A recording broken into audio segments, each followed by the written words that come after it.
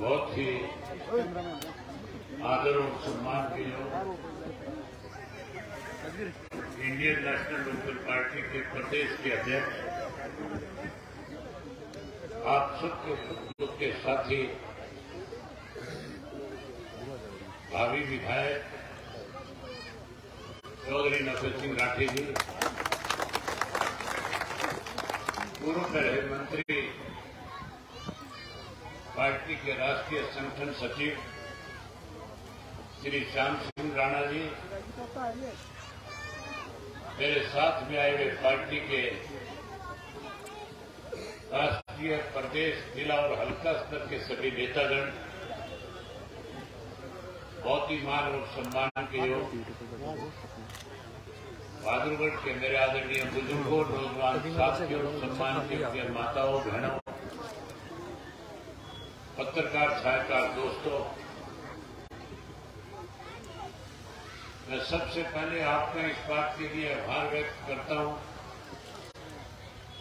कि यात्रा जैसी आपके बहादुरगढ़ शहर में पहुँची। जगह जगह पे सैकड़ों सैकड़ों की संख्या में लोगों ने इकट्ठे होकर के बुज़ुर्गों ने, माताओं, बहनों ने, नौजवान साथियों ने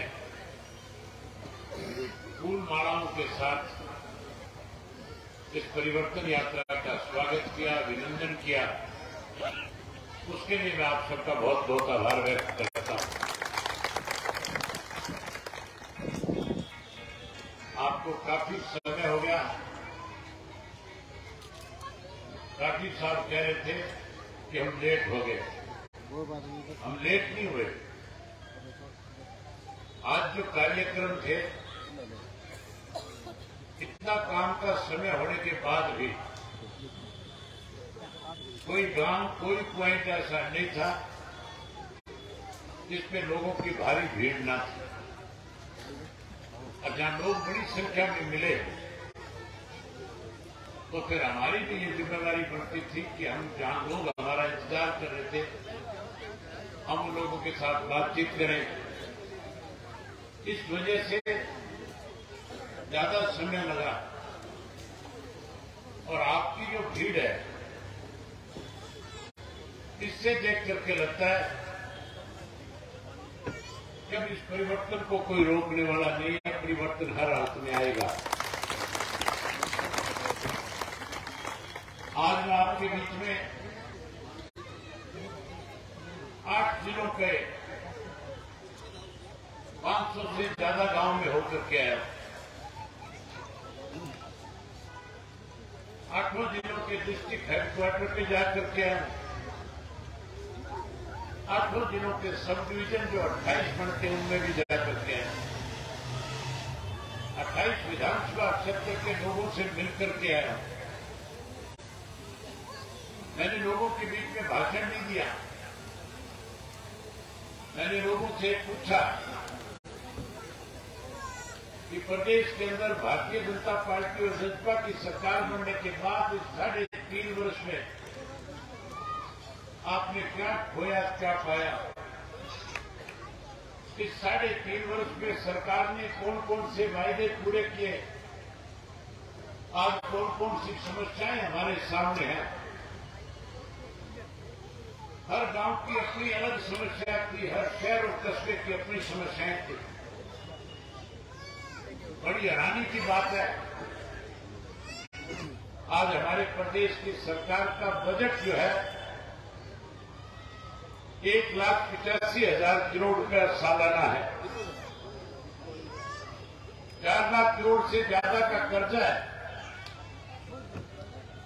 चौधरी ओम प्रकाश चौटाला जब प्रदेश के मुख्यमंत्री थे,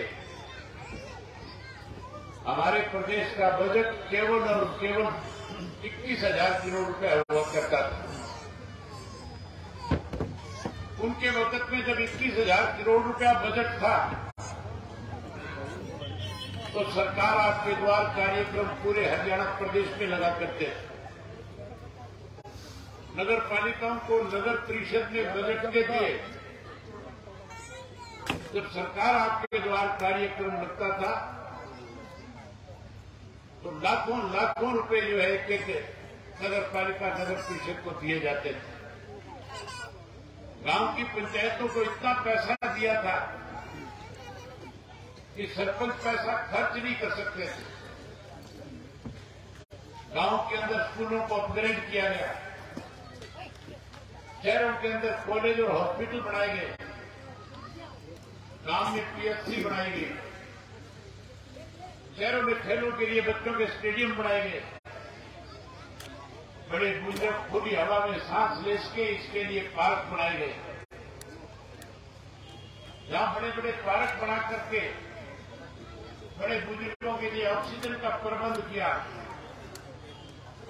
वही भ्रष्टाचार पे अंकुश लगाया, कानून व्यवस्था को दुरुस्त किया। आज हालात इस किस्म के हैं। कि हर नागरिक प्रदेश का दुखी है, परेशान है, बदलाव चाहता है। मैं जब गाँव में गया, कस्बों में गया, शहर में लोगों से मिला, मेरे सामने लोगों ने बहुत सारी समस्याएँ रखी। अगर उन सबका ज़िक्र करूँगा तो बहुत लंबा समय लगेगा। गाँव के अंदर पीने का पानी का आज कोई प्रबंध नहीं है।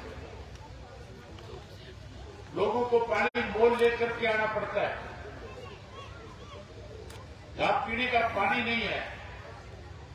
वही स्कूलों में, मास्टर नहीं है अस्पताल में डॉक्टर नहीं है। सड़कें टूटी पड़ी है। कोई नया काम हो नहीं रहा। नई चुनी हुई पंचायतें जो है, सरपंच जो है, मुख्यमंत्री कह रहा था, मैंने तेरह सौ करोड़ रुपया गाँव की पंचायतों को रिलीज़ कर दिया। मैं 500 से ज़्यादा सरपंचों से मिलकर के भी आया मुझे एक भी सरपंच ने नहीं कहा कि एक नया पैसा हमारे खाते में आया। पैसा देने की बजाय चंडीगढ़ में बैठे उस सरकारी पैसे का दुरुपयोग कर रहे हैं। उस पैसे से अपने मन मर्ज़ी के टेंडर दे रहे हैं। अपनी मन मर्ज़ी के फैसले मंत्री के सत्र पे बैठे लोग करके अपने मन चाहे ठेकेदारों को काम दे करके लूट मचा रखी है। मेरे सामने आज एक नई बात आई थी।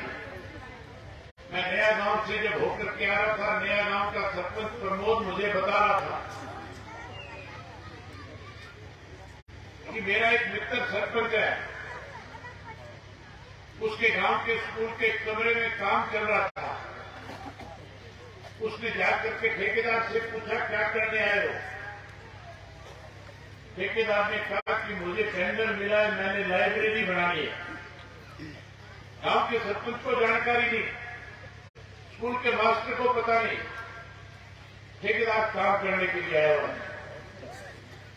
और स्कूल के कमरे में जाकर के दो कंप्यूटर लगा करके कह रहा था, मेरा काम पूरा हो गया। जब ठेकेदार से पूछा, कितने पैसे लिए मैंने? कहने लगा सत्रह लाख रुपए का टेंडर था। केवल दो कंप्यूटर लगा के सत्रह लाख रुपए का चुनाव ठेकेदार ने लगाने का काम किया। उस ठेकेदार से जब ये पूछा गया, कहाँ के रहने वाले हो? सुनकर के हैरानी होगी।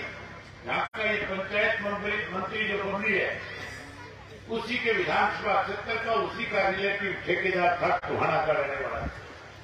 कैसे पैसा लूटा जा रहा है, कैसे कागजों में फर्जी बिल बना करके सरकार के पैसे को चुना लगाने का काम सत्ता में बैठे लोग कर रहे हैं। जहाँ गाँव में ऐसी लूट मची है और शहरों में प्रॉपर्टी आई के नाम पे प्रॉपर्टी आइडेंटिटी कार्ड के नाम पे। और प्रॉपर्टी को खरीदने और बेचने के लिए कोई जाता है। तो कैसे उसको परेशान किया जाता है, कैसे उससे पैसे लिए जाते हैं? आपके यहाँ पे तो एक बहुत बड़ा फ्रॉड हुआ है। सन 1917 के अंदर जब आपके यहाँ पे एक बड़ा फ्रॉड हुआ था, मुझे चौधरी नफे सिंह जी ने बताया कि सरकारी ज़मीन पे कब्जा किया जा रहा है। 2017 की बात है। और कब्जा करवाने वाला कोई और नहीं था। भारतीय जनता पार्टी का विधायक नरेश कौशिक जो यहाँ से था। उसने उस ज़मीन पे कब्जे करवाए थे, दुकानें बनवाई थी। मेरे नोटिस में जब ये लेकर के आए, इन्होंने जब सारे कागजात मुझे दिए विधानसभा में मैंने विधानसभा में मुख्यमंत्री के सामने बताया कि बहादुरगढ़ के अंदर किस तरह से आज सरकारी ज़मीन के ऊपर आपका विधायक कब्जे करवा रहा है। सौ करोड़ की जायदाद थी। मुख्यमंत्री मेरी तरफ़ देख रहा था।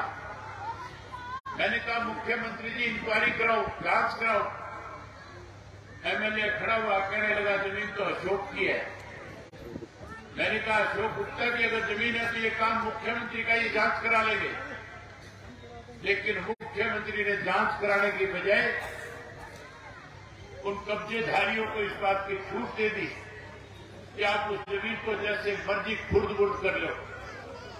नब्बे सिंह राठी जी कोर्ट में गए और आखिर हाई कोर्ट को संज्ञान लेना पड़ा। हाई कोर्ट ने आज उस ज़मीन को रिलीज़ करा करके उन बदमाशों के हाथ से छुटाने का काम किया। उसी तरह का एक नया फ्रॉड आपके यहाँ पे हो रहा है। आजकल प्रॉपर्टी आईडी के नाम पे कुछ सत्ता में मिले हुए लोग जो हैं,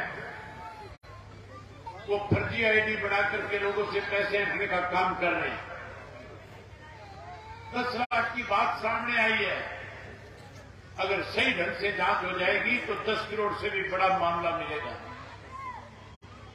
अगर ये जाँच नहीं कराएँगे 2024 में परिवर्तन आने के बाद इंडियन नेशनल लोकल पार्टी की जब सरकार बनेगी, ऐसे लुटेरों से पैसा वसूल करेंगे और आपके शहर के सौंदर्यकरण के उस पैसे को खर्च करेंगे, इनको जेल की सलाखों के पीछे भेजने का काम करेंगे।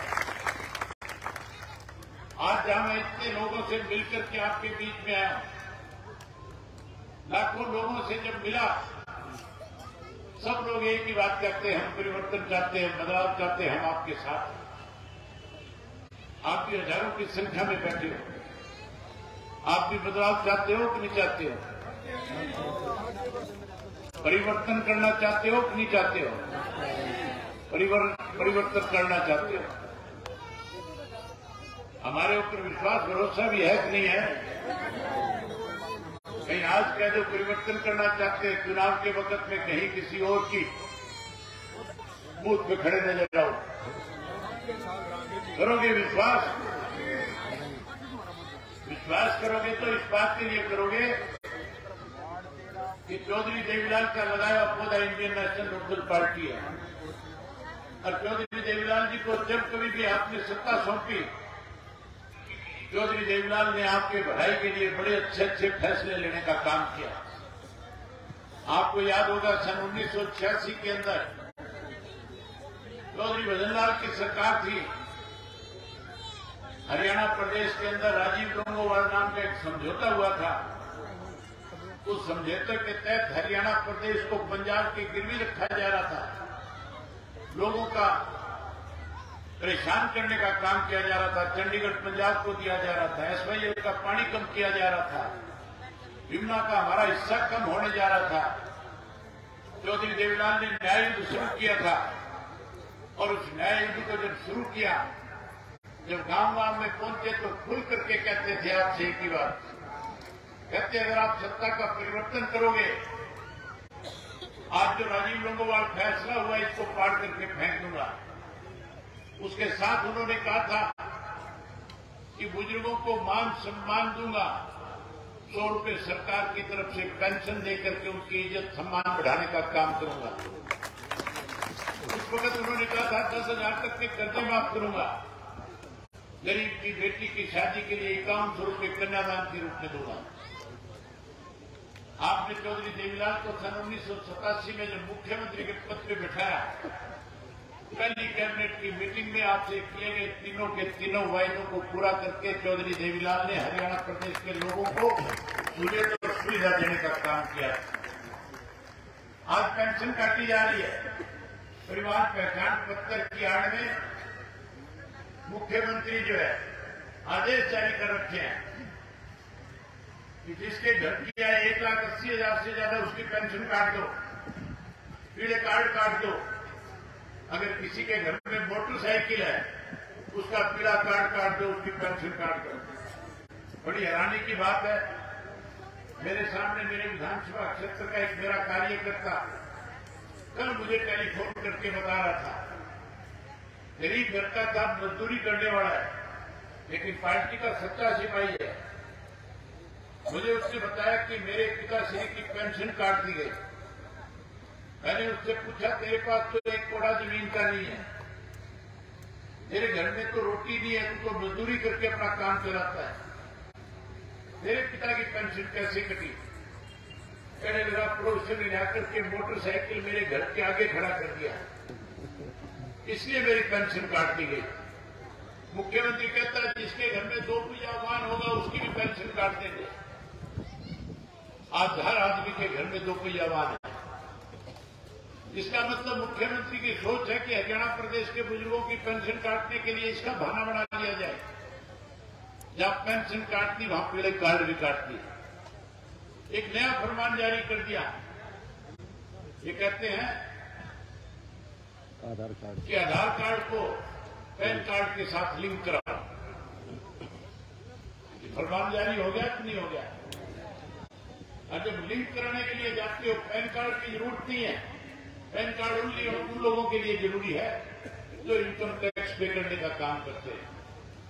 गाँव का कोई भी व्यक्ति जो खेती करने वाला उसको पैन कार्ड की ज़रूरत नहीं। मजदूरी करने वाले को ज़रूरत नहीं। लेकिन जानबूझ करके लोगों को, परेशान करके, उनकी जेब से पैसा निकाल के, उनको कमज़ोर करने की साजिश रची है। अगर एक घर में पाँच मेंबर हैं, पाँचों के अगर आधार कार्ड बने हुए हैं तो उनसे पचपन सौ रुपया ले लिया जाता है। हमारा फैसला है। परिवर्तन करोगे, सरकार बनाओगे दो हज़ार चौबीस में। सरकार आने के बाद जो पैसा आज आपसे पैन कार्ड और आधार कार्ड के नाम पे लिया जा रहा है, इस पैन कार्ड को खत्म करके आपका पैसा ब्याज के समेत आपको लौटाने का काम करेंगे। आपका सारा पैसा देंगे। भाई, बुढ़ापा पेंशन जो चौधरी जयलाल ने सौ रुपये बनाई भारतीय जनता पार्टी को सत्ता में जाने वाले लोगों ने कहा था इक्यावन सौ देंगे। उन्होंने तो इक्यावन सौ नहीं करी। लेकिन मैं आपसे वायदा करता हूँ, जैसे सत्ता का परिवर्तन होगा, हम सौ रुपये वाले पेंशन को पिचहत्तर सौ रूपया करके बुज़ुर्गों का मान सम्मान बढ़ाने का काम करेंगे जहाँ पिछहत्तर सौ पेंशन देंगे, वही पढ़े लिखे नौजवान बच्चों को जिनमें आज सबसे बड़ी संख्या इसमें आए हैं। मैं उन बच्चों को नौजवानों को एक विश्वास दिलाना चाहता हूँ। हमने पहले भी लाखों बच्चों को रोज़गार और नौकरी दी थी। 2000 से 2005 में चौटाला साहब के मुख्यमंत्री थे, पढ़े लिखे नौजवान जो बेरोजगार थे, उनको ग्यारह हज़ार रुपये बेरोजगारी भत्ता मिला करता था। अब की बार नए सिरे से, हर घर से एक पढ़े लिखे नौजवान बेटे और बेटी को रोज़गार और नौकरी देने का काम करेंगे। गाँव को नौकरी देंगे, रोज़गार देंगे। कोई अगर उस नौकरी से, रोज़गार से रह जाएगा, उसे निराश नहीं होने देंगे। उसके खाते में इक्कीस हज़ार रूपया हर महीने सम्मान भत्ता देने का काम करेगा महँगाई बढ़ गई। देश का प्रधानमंत्री नरेंद्र मोदी जी कहते थे, गैस के सिलेंडर मुफ़्त दे दूँगा। कहता था नहीं कहता था मोदी, गैस का सिलेंडर मुफ़्त देने की बात करता था चार सौ वाला सिलेंडर कितने का हो गया? बारह सौ रुपये का हो गया। में गैस के सिलेंडर अगर किसी ने दिए तो जब किसान आंदोलन चल रहा था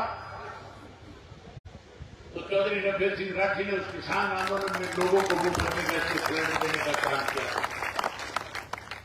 आप सत्ता का परिवर्तन करो। चौधरी देवीलाल के नीतियों की सरकार बनाओ, महिलाएँ सत्ता का परिवर्तन करने में बड़ी भागीदारी निभा सकती है।